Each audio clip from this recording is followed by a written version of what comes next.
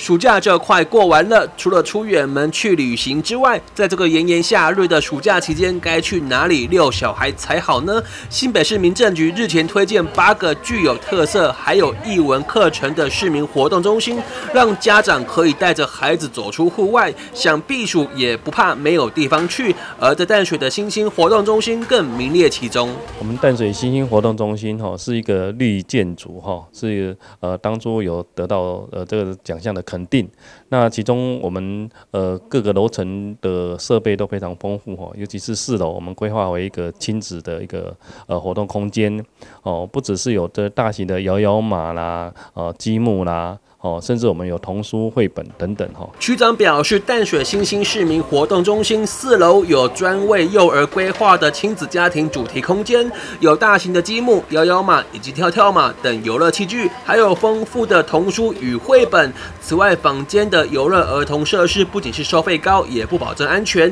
因此活动中心更免费开放，让小朋友不怕没有玩伴。所以非常受到我们呃妈妈跟孩子们哈的喜欢哈，尤其是暑假到了哈，也欢迎大家来充分的使用，也请爱护我们的环境哈，让我们这个空间能够让更多人来这边来使用，来度过一个愉快的暑假。其实淡水新兴活动中心以绿建筑外观打造便民的活动中心，除了一楼是公托中心之外，其他楼层更能够让市民来充分运用。而这里四楼的亲子室不仅是空间宽阔，还有许多绘图的书本，让小朋友在游玩之余还能够养成阅读的好习惯。记者许端一带去采访报道。